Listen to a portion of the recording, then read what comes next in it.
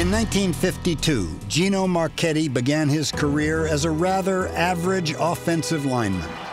Colt head coach Weeb Ewbank moved him to the other side of the ball, and the NFL's first great defensive end was unleashed. Marchetti used his knowledge as a blocker and became unblockable.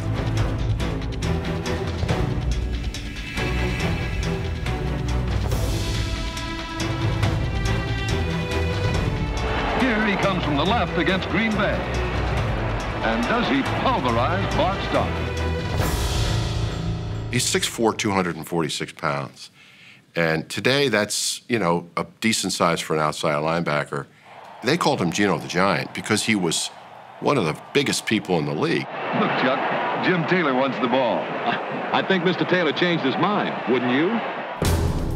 My vision of Gino is, is flying around the end, shirt tail flying, uh, jumping over a fallen body that he just threw, and the quarterback's eyes getting about that big. That's my picture of Gino.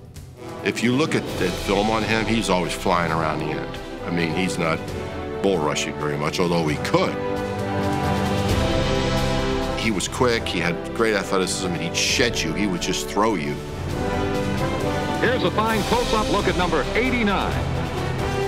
Watch him as he moves one way, and now pops back into the hole to stop Detroit fullback Pietrosante dead in his tracks. There's a great story about Gino. He was, uh, they were playing in San Francisco, and the guy opposite him was Bob St. Clair, was a college teammate at the University of San Francisco and currently in the Hall of Fame. And when the game was over, uh, Gino was walking off the field. The Colts won. He had obviously played a great game, and he heard these footsteps and somebody yelling at him coming from behind. And he looked over. It was St. Clair chasing him, and he thought for some reason St. Clair wanted to hit him.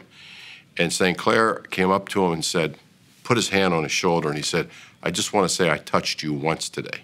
Never laid a hand on him. You know, unfortunately, we can't support his career by statistics. They didn't even keep sacks, not even come close to keeping sacks. I've been asked the most sacks I've had in one game. I know I've had nine. It's a great feeling because it was a challenge to me, one-on-one. Feel like, man, I got him. I got him. Gino the Giant unloads on quarterback Jim Ninowski for a safety and two points. Marchetti fought in the Battle of the Bulge at age 17. When he broke his leg in the Colts' 1958 championship game, he refused to be taken to the locker room and remained on the sideline until victory was assured.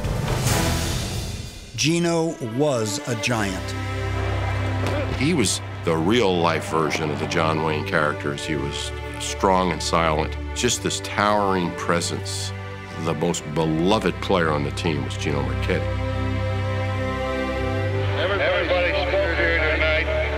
About, about the thrills I've given them. But nobody's, but nobody's ever said the thrills, that I've, that I've had on this football field. I, I appreciate.